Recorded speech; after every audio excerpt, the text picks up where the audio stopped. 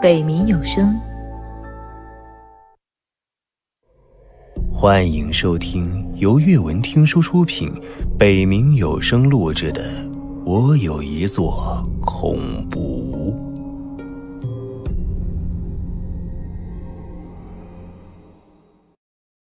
第九百九十三集。半小时后，脸色苍白的吴金鹏和游客们一起跑出了鬼屋。感觉怎么样？我感觉以前自己玩的鬼屋就像过家家一样。吴金鹏心有余悸，正准备再说些什么，陈哥却拍了拍他的肩膀：“你出来的正好，他们几个要去参观异形场景午夜逃杀，你跟着他们一起进去吧。”这可是我刚出来啊，不经历风雨怎么见彩虹啊？生活中那么大的压力都没有压垮你，这一点小小的挫折又算得了什么呀？陈哥带领着他们几个来到了鬼屋二楼，相信自己，鹏哥。等一下，你先别走。吴金鹏拽着陈哥的衣服，咱们这儿一共有多少场景？我今天要全部参观一遍吗？十个左右吧。星级越高，场景越恐怖。你刚才参观的冥魂，只能算是开胃菜。哦。呃，那就行，因为你可能参观到一半就晕倒了，不过也说不定。我们这里配备有最好的医生，抓紧时间的话，应该也有机会在一天之内全部参观一遍。陈哥将吴金鹏和几名游客送入了午夜淘沙场景。祝你们玩的开心啊！关上铁门，陈哥朝着远处走去，没一会儿就听到了吴金鹏的惨叫声。到底做过歌手？连嘶喊求救的声音都这么有节奏。又过了半个小时，吴金鹏披头散发就跑了出来。他玩的太过尽兴，连绑头发的皮筋都掉了。陈哥递给了吴金鹏一瓶水，喝口水。化妆间有备用的皮筋，你先用着。嗨，哎，这不是皮筋不皮筋的问题。刚才我进去的时候，有一个布娃娃一直跟着我，它一跳一跳的，好像是对我头发很感兴趣啊。吴金鹏的情绪明显激动了起来，手舞足蹈。看来你很受老员工们欢迎啊！放心吧，那都是后台在操控，大家在用自己的方式跟你打招呼呢。陈哥先让吴金鹏在旁边休息，自己则朝着游客排队的地方走去。徐叔，你这有没有参观二星以下场景的游客？你来的正好，这三个游客在网上买了牧羊中学、佛关村。和地下石窟的门票，他们想要一口气参观三个场景，你看，能让他们进去吗？一次只能参观一个场景。陈哥看向那三名游客，不好意思啊，我们也是为了你们的安全着想，票我们都买好了，你让我们等会儿出来再排这么长的队吗？钱倒无所谓，我只是不想把时间都浪费在等待上。开口说话的是个看起来文质彬彬的男人，他戴着眼镜，身高一米八五，大长腿，一身名牌，看起来不像是个差钱的人。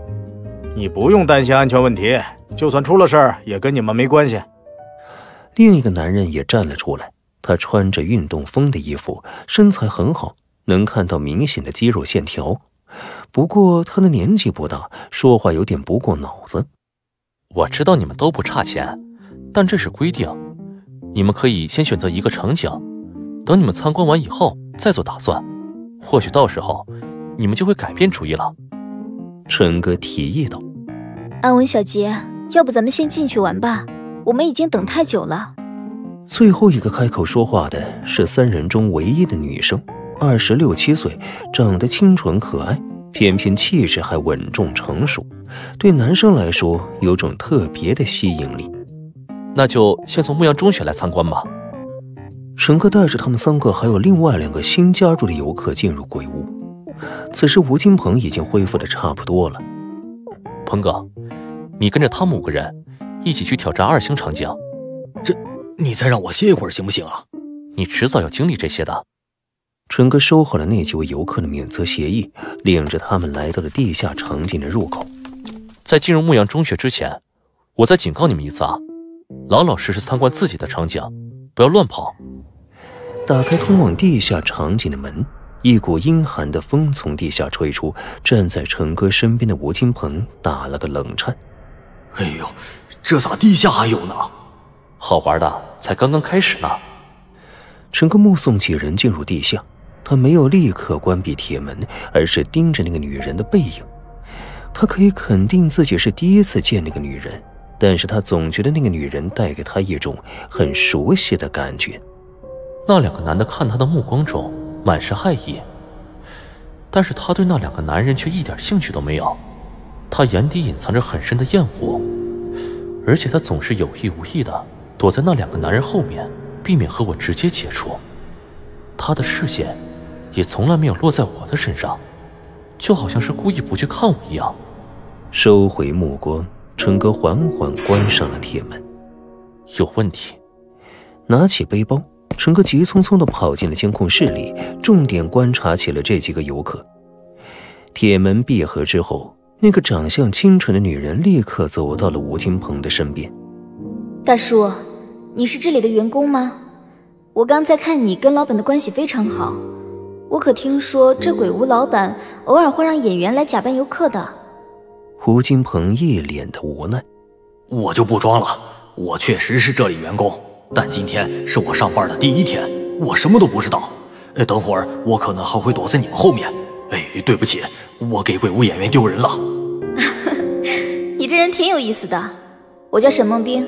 你呢？我叫吴金鹏。呃，好土的名字啊！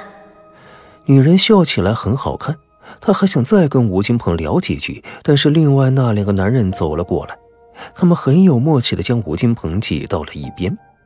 我叫邵文，她是林飞姐。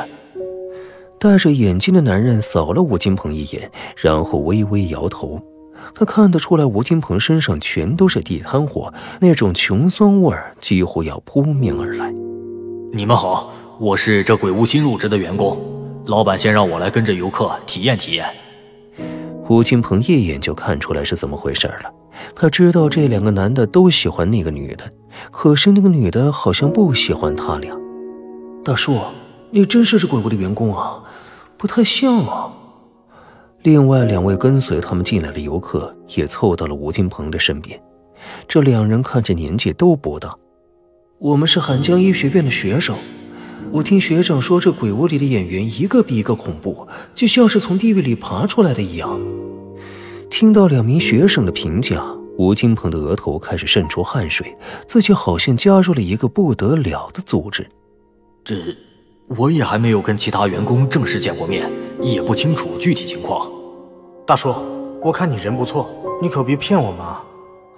两位医学院的学生深知整个鬼屋的各种套路，他们每天都能听到关于陈哥鬼屋的信息，耳濡目染下，也算是半个老游客了。嗨，你看我像是那种会撒谎的人吗？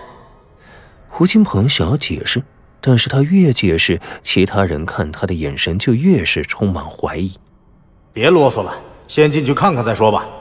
林飞杰的年纪比那两个学生大一点，可给人的感觉还没那两个学生成熟，像是在温室里长大的花朵。虽然看起来很阳刚，但内心其实很脆弱。